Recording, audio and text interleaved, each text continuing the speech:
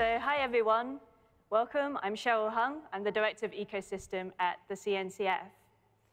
So this talk is mainly aimed at open source project maintainers who might be thinking about whether CNCF would be a good home for their project.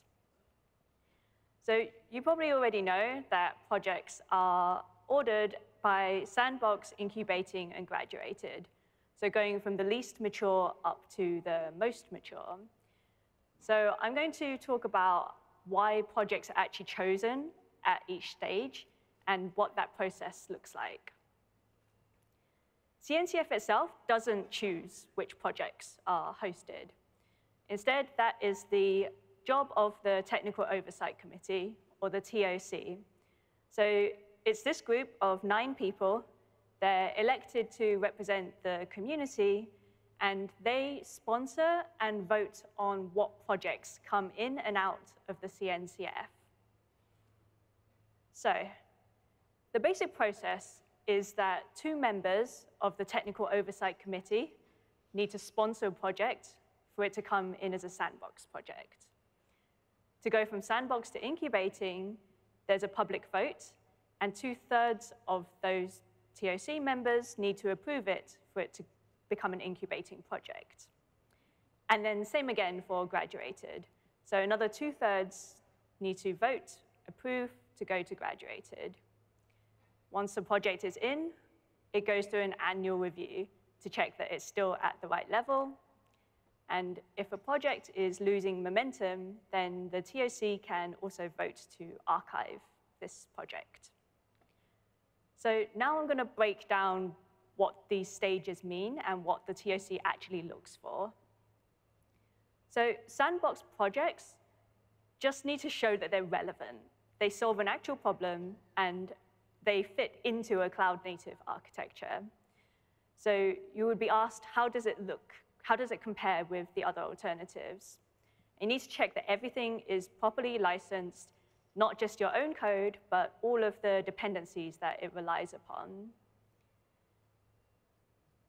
To go to incubating projects, the TOC will look for evidence of adoption.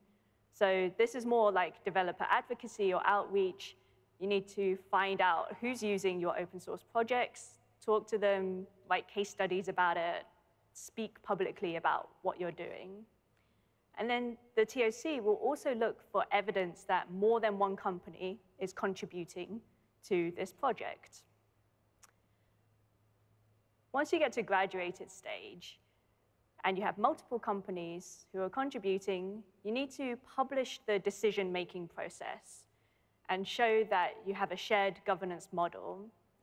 And then you also need to follow the industry best practices around documentation, testing, security, code of conduct, et cetera, et cetera. Okay, so if you're not interested in donating a project, but you do want to see what's coming next, all of this is available publicly on GitHub.